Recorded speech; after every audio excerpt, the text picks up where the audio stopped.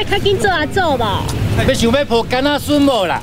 有啦，当然有期待啦。瞧瞧李坤仪去年十一月底顺利产下射手座的儿子，终于一了李登辉抱抱曾孙的这个心愿。一路走来，总能看见巧巧伴随在旁身影。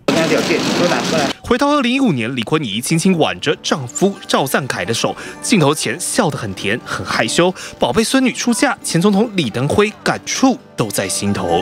拜别的时阵啊，有甲阿公讲什么悄悄话无？又来，阿阿公，阿妈，谢谢你，好，谢谢你。拜别仪式，李登辉讲到语气哽咽，因为李坤仪可以说是李登辉一手带大。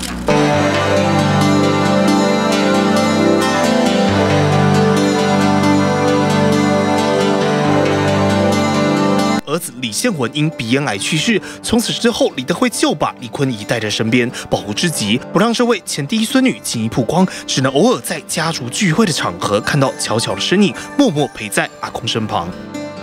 诶，唔敢啦，但是你话那度放手吼，可以可以去吼，可以吼，家己自己吼建立家己的家庭。昂有赞无？还好啦，你互伊几分？拍几分？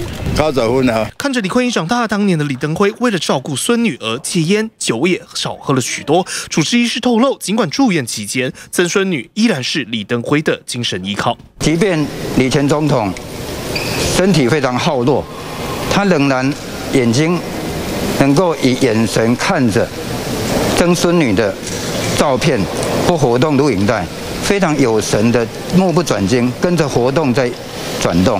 结离七十一年的牵手曾文慧，即便需要看护搀扶、步履蹒跚，也坚持连两日要陪着李登辉走完最后一程。如今李登辉步入天国，默默遥望的守护将会永驻在最爱的家人心中。记者台北综合报道。